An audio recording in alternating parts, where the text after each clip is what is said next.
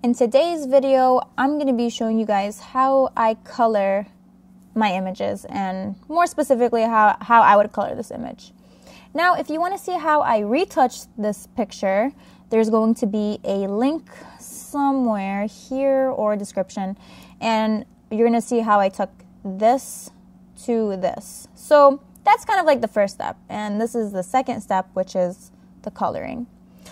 And let's see, I didn't practice this image in terms of like which layers I'm going to use, so I'm just going to really be uh, winging it, as they say. So let's first start out with hue saturation. And again, this is not planned. I mean, we're going live, if you know what I mean. I'm just I'm just gonna do whatever comes to mind, really. So what I want to s- first do is desaturate just a little bit. You know what? Since I'm just winging it, I'm just gonna go a little bit crazy, like do some weird stuff right now, but not too weird, like a good amount of weird. Uh, let's see. So now that I've desaturated, let's do selective color. Let's see how funky we can get with this. Let's do greens. And I have like my main go-to type of layers, which and one of them is selective color. Like if I if Photoshop layers were my friends, selective color would be my best friend. And um, probably like channel mixer would be the friend that I thought I liked but talks about me behind my behind my back. So yeah, uh, not doing that one. Now let's try to do a curves layer on here. Let's try to see what happens. See, I don't like this. It makes it look like like that. So I'm going to try to do something a little bit more I'm to just try to do something different. And then I do the same thing as I always do. Okay, here we go. There, that's the end of it. No, I'm just joking. okay. So let me do that. Let me bust out another selective color. Let me do neutrals now. Neutrals, it's like a hit or miss. I mean, she can look like the Blue Ice Queen from, I don't know, any Disney movie. Oh, oh that looks kind of cool. I kind of like that. What do you guys think? Nice. Yeah, okay. That's a go. This really brings out a lot of detail. And, you know, one of the reasons why I decrease my saturation from the beginning is, as you can see, it it's very subtle. But here, let me show you guys. Without it, it just looks, it doesn't look properly saturated. It just looks kind of like, this is like clown. This is fashion. Clown, fashion. I don't like to oversaturate my images to begin with. So let's do blacks. See what happens there.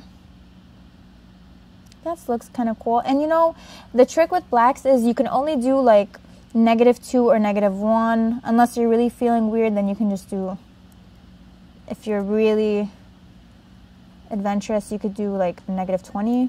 But that's only if that's the look you're going for. I would really recommend just keeping it subtle. Like this is negative four, and I think this is a little too much. That's, that was a little bit too much. So I think I really like that. So look at that difference. This is all in one layer. Damn, I just shocked myself. Didn't know I could do that. Okay.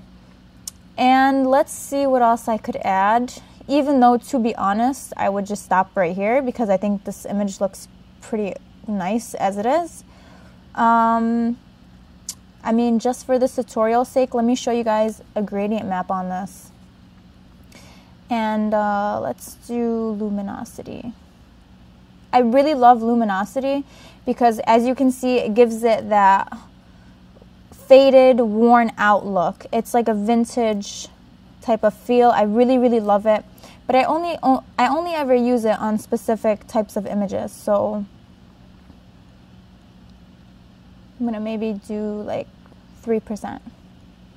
And I mentioned this in my other videos, but I think the trick is to do very slight adjustments and not have one layer that makes a really really big adjustment. You want to have several layers that make tiny adjustments, and that is what is going to be more successful, I think, for your images. And let me show you guys.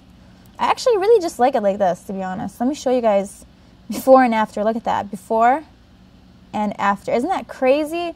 I really think it's that blacks.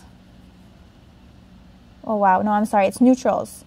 This neutral that kind of changed like the look of the image, which I really like. Um, another thing that I do, sometimes I add a, little, I add a little bit of magenta, which I'm not going to do for this image. Uh, let's see, anything else I could add? One thing you could do is you can set this curves layer to luminosity. And if you want to get a, a more whited outlook, you could do something like this.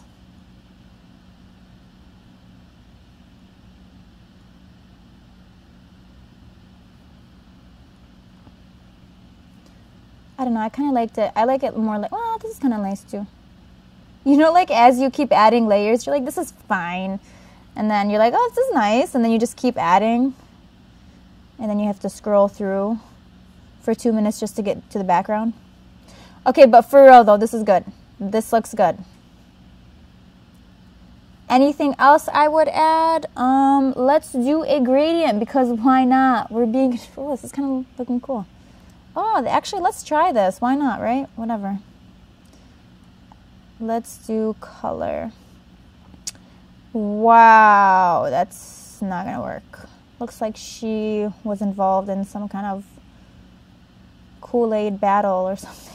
Okay, let's do screen. That's looking a little bit more normal, I guess. But realistically, okay, let's let's be honest for a second. Let's do orange a nice orange or a light yellow tone. Here's a, a light yellow tone. And I think that actually makes it look kind of nice. So what I'm going to do is I'm going to add a layer under here. I'm going to duplicate this gradient fill by pressing Command J. And I'm going to select the style of radial. And I'm going to set it up right here. just to kind of make it make it look more I don't know, Alice in Wonderland kind of thing. I don't know, I'm trying. Okay, here we go. Or you could set it to overlay just for like a pop of color, I guess. And then again, I'm just duplicating the layer just to make it easy on myself and I'm just dragging it to the other side. Just for a pop of color. Does that sound so cliche, saying pop of color? you know, trying to be hipster here and non mainstream. So, totally joking. Okay, and I think, wow, I did a lot. That looks pretty good, you guys. I'm not even gonna lie. So, I really think this is it. I mean, if I added more stuff, I think she'd look like she was a part of the team on Willy Wonka. I mean, I don't want to make her look too much. I don't want to over edit. I think this looks great. If for any reason, you know, you think you did too much, just lower the opacity and save yourself. So let me show you the before and after. So this is before, that's after. And I'm going to show you even closer. Before and after. I really hope you guys like this tutorial.